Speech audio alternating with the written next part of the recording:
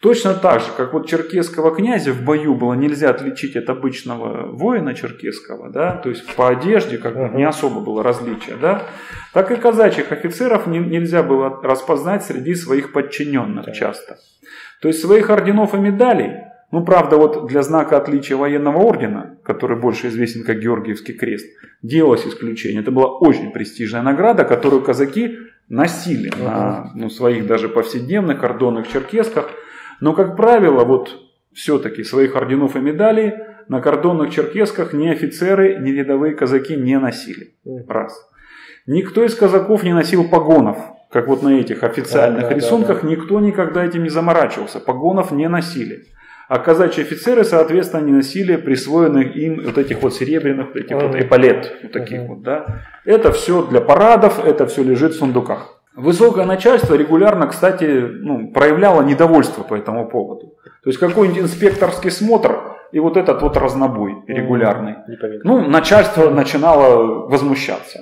Так, например, в 1827 году командующий войсками на Кавказской линии в Черноморье Астраханской э, губернии генерал значит, э, Емануэль, вот, Георгий Арсеньевич, вот, выходец из э, черногорцев, вот, с неудовлетворением отметил, что у казачьих офицеров без эполет и наград нет никакой между ними зависти к заслугам других.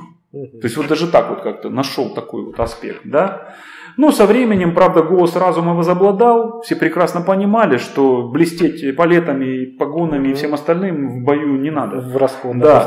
Поэтому казачьим офицерам э, эполеты во время действий против неприятеля было дозволено не носить.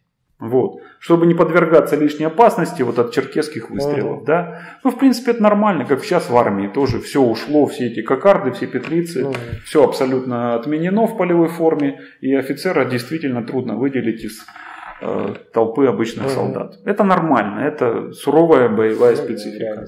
Да. Поэтому, когда, например, смотришь на недавно поставленный памятник сотнику Андрею Гречишкину станицы Тбилисской, немножко, конечно, берет оторопь.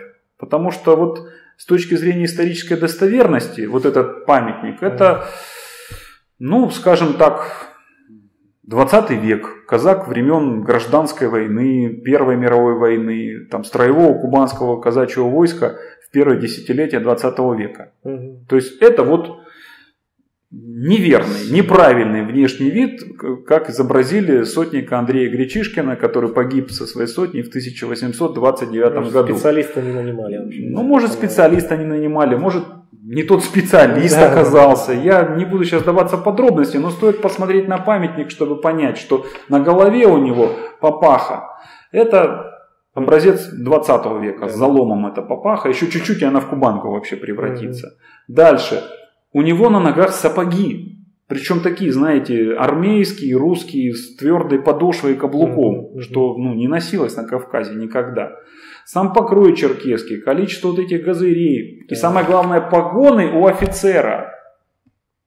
Ладно, пусть будут и палеты, но опять же, как мы только что выяснили, никаких погонов, никаких эполет не должно быть на этом памятнике. Угу. Ну, то есть Очередной исторический ляп. Понятно. Захотел теперь сказать. дорогостоящий, который теперь будет стоять десятилетия ну, да. и убеждать людей, что вот так оно и было. Ну, не будем, как бы, чего греха таить, что в черкесской среде, что в казачьей сейчас мифотворчество преобладает ну, да. над реальной историей, к сожалению. Ну, история Гречишкина там не такая уж однозначная тоже. Как-нибудь, может быть, и расскажем ну, про этот бой. Да. да. да. Ну, ладно, идем дальше, угу. говорим о, нюансах внешности. Такой же неприятный для начальства, но очень кавказской особенностью внешнего вида линейных казаков было массовое ношение бород. Это мы уже как бы выяснили. Да. Вот. Причем, что вот там упоминалось, что они бороды должны брить, а волосы должны коротко стричь. Угу.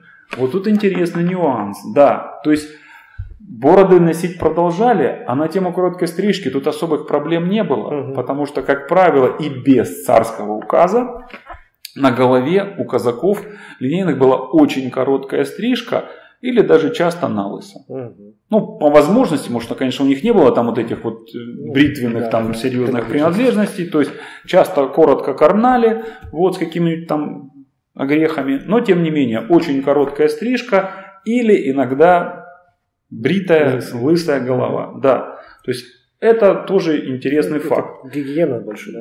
Ну, и гигиена тоже, но сейчас немножко об этом скажем, хотя вот еще чуть-чуть про бороду. Итак, старообрядческие бороды линейных казаков. Да, вот как они объясняли свою позицию, что не по уставу. Мгм. Ну, потому что они говорили примерно фразами, а то мать проклянет, да и жена не признает. То есть не узнает, когда я домой появлюсь. Мгм. Да, или, например, такие шутки у них были, что в бороде честь, а усы, а усы и у таракана есть. Мгм. Ну, то есть усы это ни о чем для них, да? Ладно. Поэтому они отращивали свои старообрядческие-кавказские бороды аж до пояса. Мгм. И причем, что интересно, иногда и по кавказской моде хной их красили в рыжий цвет. А что касается бритья головы наголо, то это как бы вот на это, ну, на полное погружение в черкесский вид, то есть лысый как горец, вот с такой бородищей, да еще и рыжий, да, шли, как правило, казаки-разведчики, то есть по выражению казачьего офицера Аполлона Шпаковского, линейные пластуны, которые по роду своей службы, проводившие много времени в землях там, враждебных немирных черкесов, они там должны были полностью раствориться в местной среде. Поэтому вот как раз это они знали множе- много как бы Диалектов. всяких диалектов горских наречий, Мгм. красили свои бороды хной в ярко-рыжий цвет. Ну, это как бы понятно. То есть Ну. на то он и разведчик. Да. Кстати, что интересно, вот да, если сравнивать процент крашеных бород, да, конечно, в Дагестане, в Чечне рыжебородых было больше. Мгм. Но не стоит отрицать, как некоторые современные адыги делают, что этот обычай у них вообще не был распространен. Факты имели место быть. Да, 100% обычай красить хной бороду у черкесов тоже был. Может быть в меньшей степени, но был. был. Это А- мода такая, да? Ну, может быть, да. Мгм. Вот, ладно, все-таки про стрижку у линейцев. Итак, подавляющее количество носило короткую стрижку. И поэтому, как писал писатель Александр Бестужев-Марлинский, знаменитый декабрист, линейные казаки отличаются от горцев только небритой головой. Вот оно что. То есть получается, вот черкесы русской национальности один в один, 100% или там 99,9% нюансы были. То есть все-таки большинство линейных казаков на голову, голову не брило по мусульманской традиции, Ага. а оставляло хоть какие-то, но короткие Ну да, волосы были. Потому что именно по волосам на голове и можно было распознать своего ну, линейного казака от чужака-черкеса. Или как иногда говорили в русской армии на Кавказе, гололобого. Мгм. Ну, то есть голый лоб, бритая голова, лысый. Да. То есть если волосы есть, казак линейный. Мгм. Если голова лысая, значит горец немирной черкес. Ну, вот в бою, там, в сражении или еще Ага. где-то. Вот один из таких примеров на эту тему. Экспедиция в Чечне, 1852 год. Прошел бой. Значит, э, отряд э, потер- потер- ну, понес потери, отступил. Мгм. Часть убитых, раненых осталась на поле боя. Вот. И один раненый казак притворился мертвым и лежал в снегу, пока чеченцы обирали трупы других убитых казаков. Мгм. То есть ему повезло. Он лежал в снегу какое-то время до прихода драгун, то есть когда уже обратно как бы русский отряд начал наступать. И почувствовав, увидев, что вот идет помощь, подмога, он вскочил на ноги и бросился к своим. Побежал. Но драгуны, видя, что на них бежит какой-то чеченец, значит, они подняли ружье, все массово прицелились в него. Тогда он на бегу, этот казак, снимает папаху, чтобы показать, что у него на голове волосы Мгм. что он, что он не чеченец. Ну, драгуны ружья опустили. Но тут же подняли ружья чеченцы, потому что не успел он опять надеть папаху, как чеченцы, увидев по, по волос- по волосам на голове, что это гяур, что это неверный, что это русский, что это казак, дали по нему залп. Вот. Он упал вовремя, и все пули прошли над ним. То есть ему повезло. Ни одна пуля не коснулась его, он выжил, добежал до своих, там отдышался, отматерился. Фу, все, пронесло, повезло, но какой интересный нюанс. То есть сперва его чуть не убили за то, что он ну, показал, что все, я свой, и потом его чуть не убили чеченцы, что оказалось, что он все-таки не чеченец. История, вот Call of Duty игрухи делают про это. Войну, Ну. вот можно туда такое. Да уж.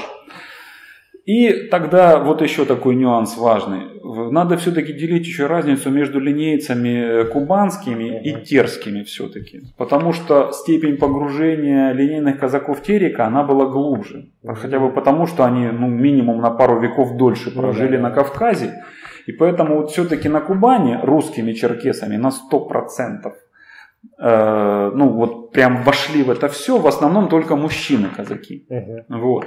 Что касается местных женщин-казачек, которые в отличие от терских, особенно гребенских, вот вспомните гребенских казачек в их кавказских этих одеждах, в бешметиках, в поясах серебряных, застежками Да. нагрудными, в головных уборах на, на кавказские манеры, даже ношение этих э, шароваров Мгм. женских, вот гребенские казачки, да, у них это все есть. То есть и бешметы, и манисты, то кубанские линейные казачки русскими черкешенками стать не успели. Мгм. То есть здесь этот культурный как бы процесс не пошел так. То есть если немного чуть-чуть подробнее говорить о линейных казачках Кубани и Терека, эта специфика ярко прослеживается, что русскими черкешенками кубанские линейные казачки не стали. То есть вот если мы посмотрим, например, на э, платье гребенской казачки вот здесь, да, то это типичный кавказский наряд. Вот это вот из музея, допустим, платье. Это так называемый бешмет женский, да. И, и рукава, и как бы разрез, и, и, и талия, и серебряный этот мощный пояс мгм. женский кавказский, и маниста очень солидная, и головной убор, накидка на голове. Это все Кавказ. Или же вот фотографию более свежую смотрим. Начало 20 века терских казаков сем- семья, да, стоит. Муж, э, жена и ребенок, ребенка, она девочку держит на руках. Опять же смотрим, маниста присутствует, Пояс. пояс серебряный, кавказский и так далее. То есть даже в начале 20 века эта культурная специфика гребенских казачек была. Мгм. Смотрим рисунки Григория Гагарина, хотя бы два из них. Ну вот то же самое.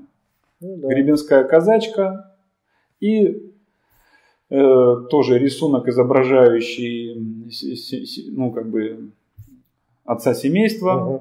и его, насколько я помню, дочь. Да. Такая, да. То тоже С узкой талией. Да, вот узкая эта т- талия тоже очень как бы престижная и распространенная на Кавказе. Ну, то есть, чего тут э, комментировать, и так все понятно по этим Мгм. рисункам, что действительно э, линейные казачки Терека, они полностью вошли вот в этот женский кавказский мир.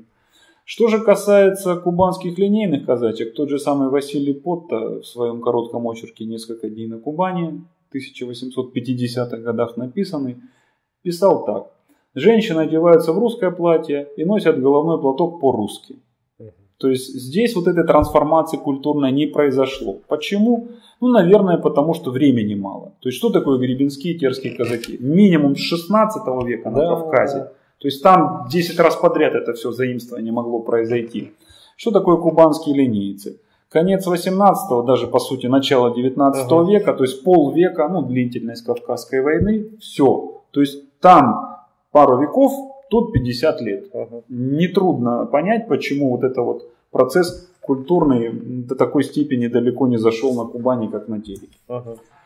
Ну вот, достаточно посмотреть, это фотография начала 20 века, казачки станицы Должанской, Кольбик, ну по девичьей фамилии Щербины, Феклы Акимовны, 1891 года рождения. Кстати, какой прикольный у нее сын, Илья Андреевич Кольбик, родившийся в 1911 году, стоит на Да, стуле, засу- засунул, значит, так Ага. вот по-заправски руку в карман и отцовский кинжал. Ну, То есть сам казачонок вот с пол кинжала ростом, Мгм. да, то есть папин кинжал ему по пояс. Улыбка у него какая классная, замечательная. Но что интересно, вот перед нами стоит в таком внешнем виде его мама. Это уже городская одежда. То есть это, Да. это даже уже и не традиционная одежда женская. То есть вот еще одна из причин, почему на Кубани э, в женской одежде не произошло, не произошло того, о чем мы говорили про терек. Тут же начался капитализм, Ну да, тут же началась урбанизация, Да. тут же по- поперли ж городские моды Мгм. в женский мир. А мы знаем, что женщины предательницы. Они первые, кто сдают народный костюм Мгм. часто. Вот. То есть, что модно, то и красиво, то и актуально. Соответственно, вот эта парочка знаменитая, это не совсем народный костюм. Это уже под воздействием городской моды трансформация произошла. Плюс эти вот полусапожки с каблуками, Мгм. еще вот эти все элементы. Ну, достаточно посмотреть «Тихий дом». Мгм. Да. Вот там это видно, По-современному. что это уже полугородская мода. Соответственно, вот это тоже воздействие города, урбанизации, капиталистических процессов повлияло на то, что кубанские линейные казачки, да и вообще кубанские казачки как таковые, черноморские тоже, вот под это не попали, как Гребенский. Ну, хотя, если мы заговорили о моде, ну, женскую упомянули, все-таки немножко вернемся к мужской горской, кавказской моде. Потому что, да, для линейных казаков горцы были законодателями во всем. Не только в попахах, которые мы упоминали, да. Как уже было сказано, современники не раз отмечали абсолютное сходство и идентичность костюма и оружия линейных казаков и кавказских горцев, тех же самых черкесов. То есть, опять вот повторим одну из фраз. Казак и горец Кавказа имеют один и тот же костюм и одно и то же оружие. Но, более того, как офицеры, так и казаки переняли своеобразную такую манеру кавказского мужского щегольства, которую, кстати, многие не понимали, люди, которые ну, попадали на Кавказ, что все предметы их походного обмундирования, одежды, ну, черкеска в первую очередь, произвольные по цвету и покрою, но в подражание горским джигитам были потерты, изодраны, особенно рукава и полы черкески, небрежно зашиты разноцветными заплатками и зачастую даже просто грязные. Вот это многих вызывало культурный шок. Это что? Это как? Это круто, это престижно, это красиво и это модно, отвечали им в ответ на Кавказе. Почему? Ну вот смотрим на э, рисунок Григория Гагарина, который изображает казака Моздокского полка Чеботарева. Вот если бы я не сказал, что это казак Моздокского полка Чеботарев, кто бы сказал, что это ну, русский человек, да? То есть, это типичный линейный казак, но от горца очень неотличимый. Кстати, обратите внимание на его по-кавказски модную мужскую талию. Это же помните, сколько да. раз было разговоров про маленький размер ноги угу. и узкая талия для мужчин. Как ни странно, для мужчин. То есть это считалось очень красиво и очень престижно. Да? Вообще, кстати, среди черкесов, вообще кавказцев полных, ну, с животом людей практически да, не было. Там То есть, столика, да. Да, диета вот эта вся, там сидишь на этой пасте каши, там, там действительно, ну, как-то не особо наберешь жирок. Ну так вот, это казак линейного полка, Чеботарев. Присмотримся к рисунку. Ну что он? Бороды.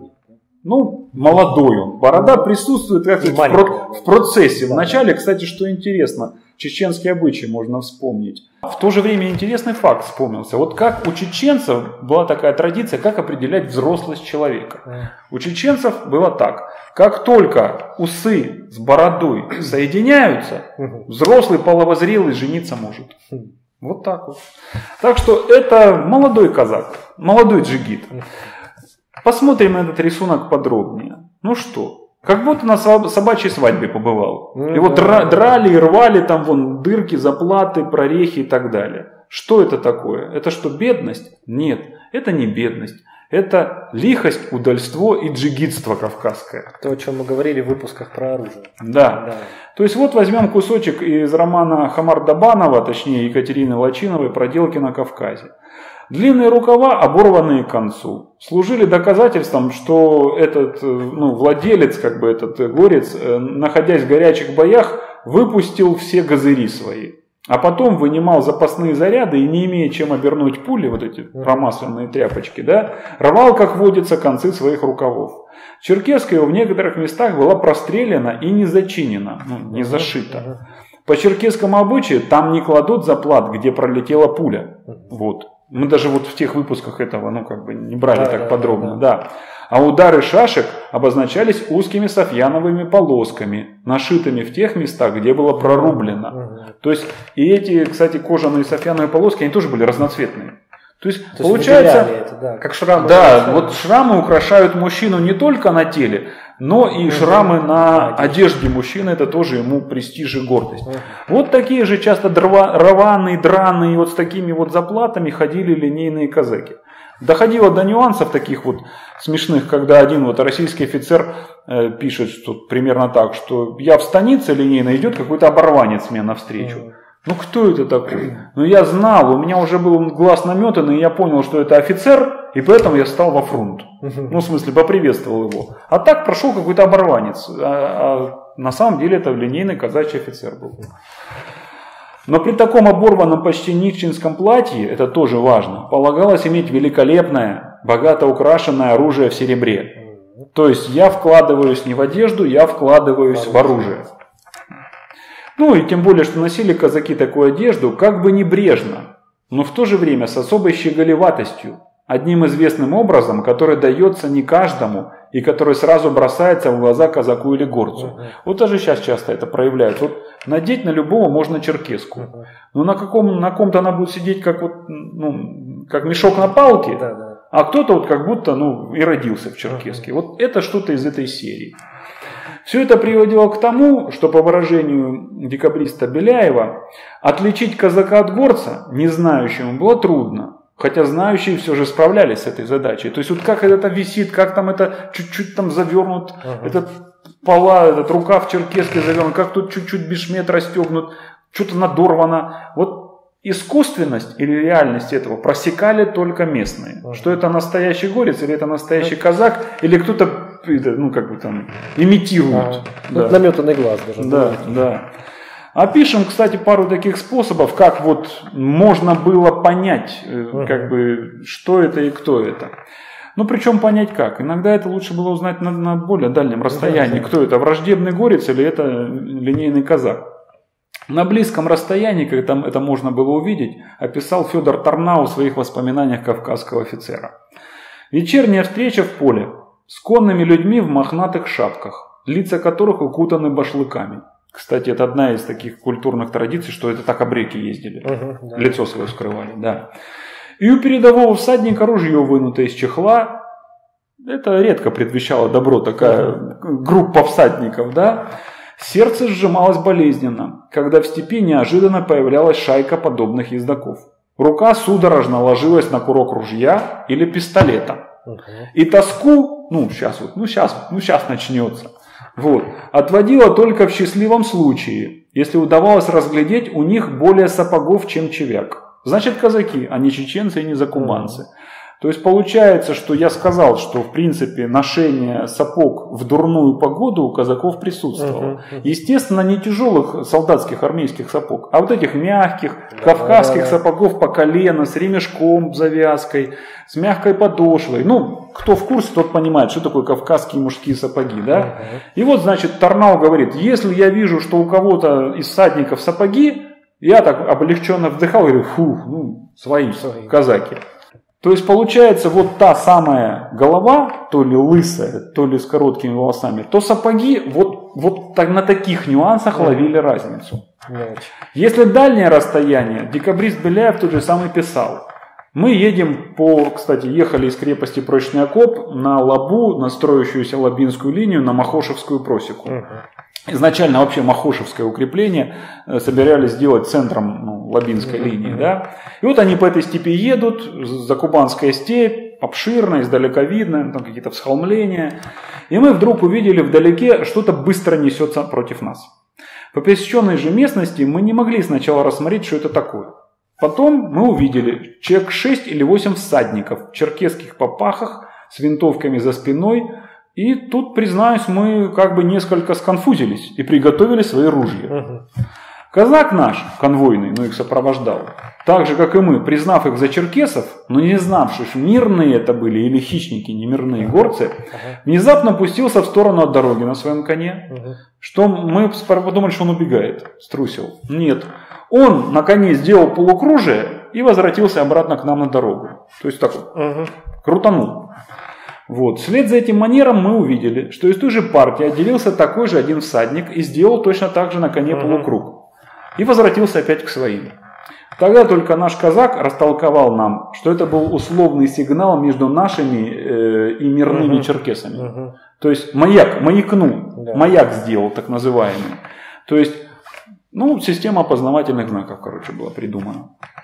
Вот. Потому что, да, действительно, бывали такие неприятные случаи, потому что, ну, кто вообще, кто, кто к незнающим относился, кто вот попадал в просак в таких ситуациях.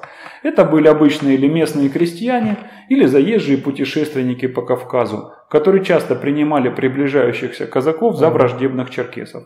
Вот по этому поводу немецкий путешественник Морец Вагнер писал в своих путевых записках, что линейцы носят черкесский костюм. Светло-коричневый кафтан с кожаным поясом вокруг талии и с цветными кармашками по обеим сторонам груди. Кстати, что значит цветными? Часто кожаными. Ага. Газыри в этих часто были в кожаных гнездах, софьяновых. Ну, там обделывались, обшивались. То есть, почему? Ну, лишнее предохранение от влаги. Мгм. То есть Ну да, кожаный, не да. пропускает. Вот. В которых помещаются патроны, синие штаны и черкесскую меховую шапку. И поэтому, когда я только увидел, как по степи к нам скачут линейные казаки, у меня возникла мысль, что это набег черкесов с помощью с целью грабежа. То есть сейчас нас будут грабить. Когда этот немецкий путешественник впервые увидел линейных казаков. Что же касается крестьян-однодворцев, вот этих э, ну, на Кавказе поселенных, то в 1828 году генерал Вильяминов приказал казакам линейным не приближаться близко к ним. Ближе, чем на полверсты, не подъезжать к работающим в поле крестьянам.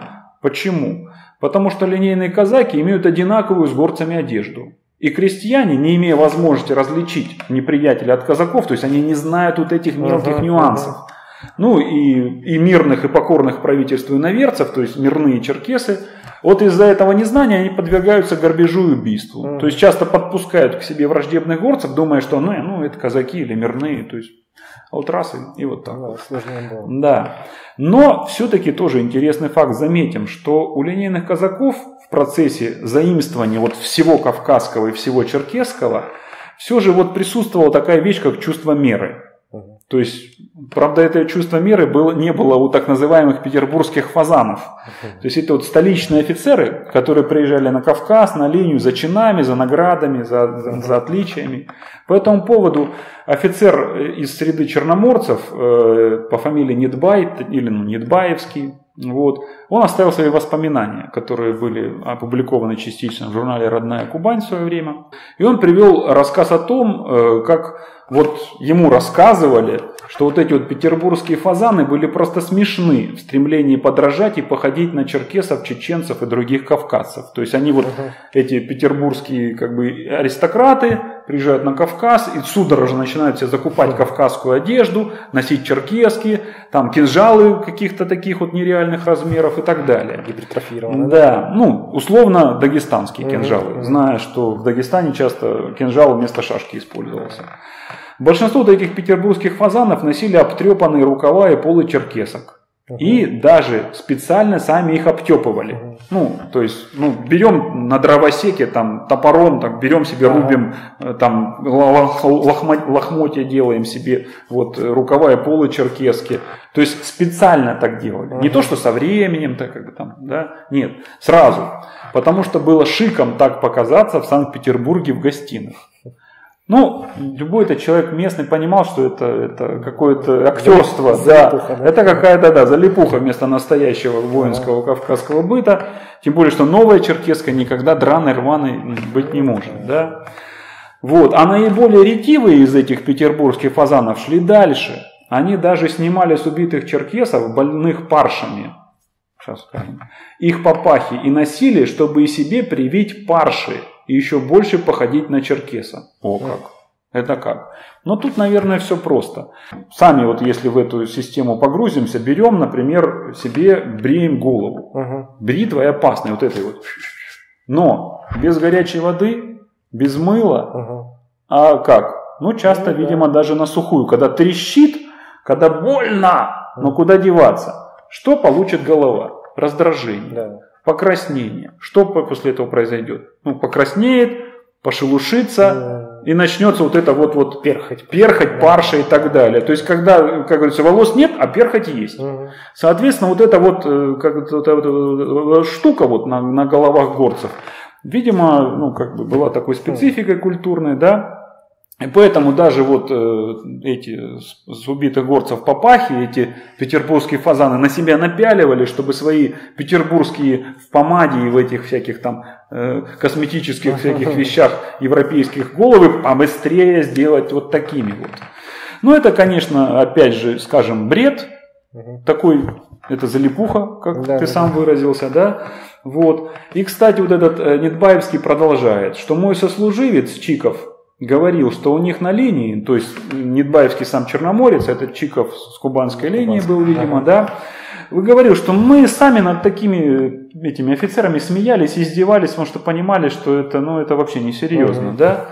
И поэтому даже вот, когда хотели кого-то высмеять, кто уж очень подражал в походке или обуви черкесу, ну, то есть, ну, вообще там, как бы, ну, пытался там до, до каких-то непонятных вещей дойти, то его как бы обзывали и стыдили, говорили так, что ну совсем бы был бы черкес, если бы еще бы и срал просом, да. Ну, учитывая, что пищевой рацион адыгов, да, то есть как бы, то есть такая жесткая, обидная шутка, но которая ставила все точки над «и». То есть, кем бы ты ни притворялся, ты никогда не будешь ни настоящим черкесом, ни казаком линейным, то есть это не твое. Парень, успокойся, но кто-то не успокаивается. Да, мы только что говорили вот о каких-то, ну, и смешных, и в то же время для кого-то в чем-то и таких вот э, груб, грубых моментах в этой системе заимствования кавказского значит, культурного облика. Ну ладно, э, это даже все можно было говорить раньше, что индивидуальные какие-то нюансы, uh-huh. что личностные. Вот человек отдельно взятый, на нем так, на нем так, на нем так. А некоторые элементы вот этого заимствования кавказско-черкесского в среду казаков проникали уже, скажем так, в отношении каких-то коллективных символов. Uh-huh. Например, флаги. Точнее, флажки, значки, вот эти вот знаменитые горские, кавказские. Вот, ну, среди казачества линейного это, конечно же, тоже присутствовало. В частности, сотенные значки и личные значки казачьих командиров самых разных видов и цветов на Кавказе в казачьих полках встречались часто. Кстати, и в армейскую среду это тоже проникло, но в меньшей степени. Да, в принципе, многие кавказские генералы имели такой вот свой личный значок, который за ним возил их там нукер, uh-huh. оруженосец. Вот. Ну, а в казачьих полках линейных это было достаточно массово. Прообразом этого было что? Э, различные черкесские значки, которые украшались тамгами, часто родовыми гербами, хотя встречались и другие варианты. Часто просто вот сшивали из, раз, э, из разноцветных полос импортной или местной материи, uh-huh. как, например, флаг шапсукского народа, так называемый, вот на фотографии, да. И вот ими пользовались в бою для тех же самых целей, как и это описывалось в отношении горцев. Что с помощью этих флажков, значков регулировали продвижение войска во время походов и набегов. Потому как знаменосец поднимал этот флаг или наклонял, воины, ну черкесские, в том числе и казаки, производили определенные действия.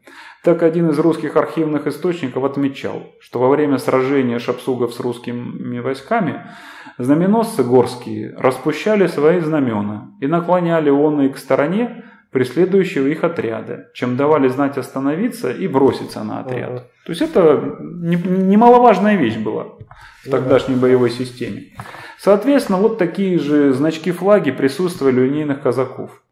О них писал, например, Аполлон Шпаковский в своих записках старого казака. Он служил на Лабинской линии. Вот, например, сцена, что мы приближаемся к горскому отряду, к черкесскому скопищу, как тогда говорили. И мы увидели значительное скопище горцев с четырьмя значками, в числе которых развивался и мюридский значок Магомета Мина. Причем, что интересно, вот часто э, вот встречаешь такую фразу. Судя по тому, что над черкесским скопищем развивалось пять значков, их было 500 человек. То есть сотня. Значок а, это как сотня, да? И в казачьих полках это были сотенные значки. Угу. То есть 100 человек, значок. Ну, плюс э, личные значки князей и предводителей. Ага. То есть вот такая система. Вот в частности у начальника Лабинской линии Волкова был свой личный красный значок, по которому все знали, что вот это, ну, он едет, скачет или в бою он там присутствует. А для воинских подразделений отдельных тоже была придумана система. Вот с учреждением этой Лабинской линии была сформирована на ней и особая команда пластунов из охотников. Но это не те черноморские пешие пластуны, это другое. Линейные пластуны, они в принципе на конях-то передвигались часто, а не пешком. Но не факт. Короче, это команда разведчиков. То есть такой на Лабинской линии примерно 100 человек эта команда составляла и для всяких спецопераций ее использовали. Так вот, у этой команды пластунов Лабинской линии был свой особенный значок. Черное полотнище с белой по краям тесьмой. И с красной посередине Адамовой головой. Ну, то есть череп с костями, только красный. Похоже в чем-то на знаменитый значок донского генерала Бакланова в Чечне. Вот. Там тоже был черное знамя с Адамовой головой. Вот, ну, правда, не красный. А uh здесь, значит, uh вот, значит, кто это скачет? Это, значит, лабинские пластуны скачут. На ними развивается черное знамя с красным черепом и костями. То есть вот такая Первая. штука, да. Ну ладно, все-таки рано или поздно война Кавказская закончилась. Бывшие враги помирились, так или иначе. И что же было дальше? То есть вот с этой системой как бы русские черкесы, линейные казаки и так далее. Она не пропала, она видоизменилась. Конечно, ушли в прошлое некоторые вот элементы, как то, та же самая рваность, драность, uh потертость, это, это ушло. Вот. Но стиль под черкеса, так называемый, это, ну, это не я это цитирую, стиль под черкеса, он все так же оставался в среде кубанских казаков. Вспоминаем опять Федора Елисеева. 1913 год, э, он присутствует на одном из мероприятий, там смотр очередной, и вот он описывает – что э, это майские лагерные сборы Кавказского отдела, вспомнил. Светло-серый черкесский кавказского сукна, дачка, с серой каракулевой папахи, одетый как черкесский князь скромно и стильно, с аккуратно подстриженной седой бородой из экипажа вышел генерал-лейтенант Косякин, второе после атамана Бабыча лицо в войске. Итак, что здесь у нас присутствует? Одетый, как черкесский князь, скромно и стильно, и причем самый главный элемент этого стиля под черкеса это серо, светло-серая черкеска кавказского сукна. Да, правильно. Практически вот и в 19 веке, и в 20 самый распространенный цвет национальных вот, ну, черкесок, которые носили сами черкесы, это серая. Вот. Причем скромно. Но сразу вспоминается, что князь Горский никогда не хичился своей часто внешним своим каким-то респектом. Он часто одевался так же однообразно и скромно, как и рядовой горец. Uh-huh. Да. Другой пример этого стиля под черкеса. Под Исаул Алферов в молодости был Кутила. Он был маленький, сухой, очень стройный. Вот она, тоже стиль под черкеса. Ну, полных черкесов, как правило, не было, значит, это вот надо быть еще и быть стройным достаточно, uh-huh. да, чтобы быть джигитом. Он был очень стройный и стильно по-черкесски одет. На темно-серой дачковой черкеске, опять серый цвет, с черным бешметом серебряная тесьма. Ну, конечно же, серебряная тесьма пре преобладает в, в кавказском черкесском одежде, чем золотой галун это для женщин. Да, да. Мужской это серебряный галун. Крупного черного каракулевого курпея папаха чуть сдвинута на бок для удали и щегольства. Понятно. На алом верхе папахи э, торчмя красовались офицерские галуны. Ну, это крест-накрест, вот этот вот. Да, да, да. Лицо тонкое, даже сухое. Прямой профиль смуглого лица. Темная бородка подстрижена, как у черкесов. В общем, все подражание его под черкеса. Значит, еще одна добавка. Опять второй раз упоминается бородка. Небольшая подстриженная бородка. В особом стиле под черкеса. Вот, еще одно дополнение. Ну и опять же вот про этого подвесового Алферова. Маленький, сухой, щупленький, с тонкими правильными чертами лица, с темной бородкой, подстриженной под черкеса. Одевался также чисто по-черкесски, он и был похож на черкеса. Вот оно что, Михалыч. Угу. То есть получается, мы начинаем понимать, что даже после Кавказской войны, даже вот 20 век, там, Первая мировая война, вплоть до, вот, ну, до недавних каких-то совсем событий, среди кубанских казаков было понятие, что нужно и можно одеваться под черкеса. Стиль под черкеса был. Угу. Ну, мы выяснили, что это светло-серая черкеска, да, бородка определенного там типа, да, э, не очень кричащая цветовая гамма, ну, там серебряный галун, темный, черный, серый цвета. Угу.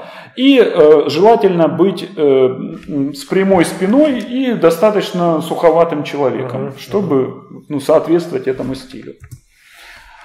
Ну вот примерно так. Перед нами фотография кубанского казака, который на самом деле, ну условно, это на самом деле не чистокровный черкес, это Хзыр, он же Алексей Курманбиевич Акбаев, офицер кубанского казачьего войска из карачаевцев. Но посмотрим на эту фотографию, все станет понятно, что на ней присутствует. И серая черкеска, и папаха такая немножко, как бы чутка да, на бочок как-то так вот надетая. И, ну и все, короче. Вот ну, одним словом, фотография все показывает. Вот да, это типичный, и тот самый типичный черкесский стиль кубанских казаков. Угу.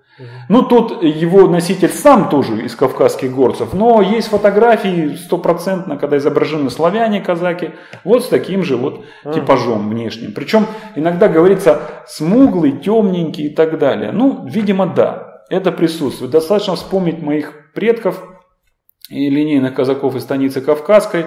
Бабушка у меня была, э, царство небесное, бабушка Поля, из этой же категории. Легкая смугловатость в лице, угу. она вот присутствовала у них. Да, да, факт. Кстати, опять же, вот цитируем Елисеева. Это уже кусочек за 1918 год. И только, ну, фрагментик небольшой. И только один среди казаков, из них был старый казак лет 35. Кстати, старый казак ну, лет 35. Ну, возраст тогда воспринимался совсем по-другому, ага. чем сейчас. С небольшой черной бородкой, подстриженной по-азиатски. Ну, азиатски, точнее, как писал Елисеев. Опять же, вот эта бородка небольшая, черная, подстриженная. А вот как он описывал он командира своего полка Мигузова, кстати, из терских казаков. Я впервые вижу его в серой черкеске. Она ему идет, и одет он стильно, как горец. Короче, все, все дело в серой черкеске. Угу. Высокая черного каракуля папаха чуть на бочок. Опять на бочок. Вот. И опять же Елисеев про другого пишет. Офицер первой Катиандарского полка Дикой. Среднего роста, изящный под черкеса и лицом и костюмом. Мать его черкешенка. И он отлично танцевал в полку лезгинку. Угу. Ну тут понятно, раз мать Черкешенко ну, да, э, будет, Семейные да, будет все, будет, будет все вот так. Даже вот могу свои впечатления упомянуть. Э, значит, часто вот э, у нас есть э, вот в городе Армавире очень хороший такой популярный ансамбль «Легенда Кавказа». Uh-huh. Вот. Значит, руководит им, э, значит, Олеся Тамазова, по мужу Диванян. Вот, очень хороший ансамбль, очень хороший коллектив. Все армавирские черкесы, армяне, кто только можно, кавказцы ходят к ней с большим удовольствием и дают своих детей. Вот одно время там солировал один из главных танцоров, был молодой человек, ну, ну джигит, вот как говорится, ну ваш пель. Вот. И потом, через какое-то время, у меня ступор был, когда как-то вот они выступили и говорят, там, представляют, говорят, Антон Ушаков. Ну тут я, конечно, затроил, а потом быстро вспомнил все вот эти наши исторические корни и понял, что можно быть черкесом в душе, не будучи черкесом по крови. Он исполнял вещи, и зал рукоплескал, и у меня ни секунды не было сомнений в голове, пока я не услышал Антон Ушаков. Ну, вот так вот, вот так вот, да. Итак, то есть немножко подведем итог. То есть что такое внешность под черкеса? Угу. Это, значит, несколько раз упоминалась бородка. Так серая черкеска, черкеска ну, не кричащие тона цветовые, угу. то есть серо-черно в украшении серебряного угу. галуна, определенная фигура, ну там сухость, э, стройность, э, смугловатость лица, угу. вот. Ну вот как-то так. То есть кубанский казачий стиль под черкеса был, жил, присутствовал вплоть до недавнего времени. Правда вопрос, а сейчас такое есть? Отвечу сам, нету. Нет. И вот это, кстати, яркий пример того, что та казачья культура и эта казачья культура, да, вот да. что-то вот все-таки различия присутствуют. Угу.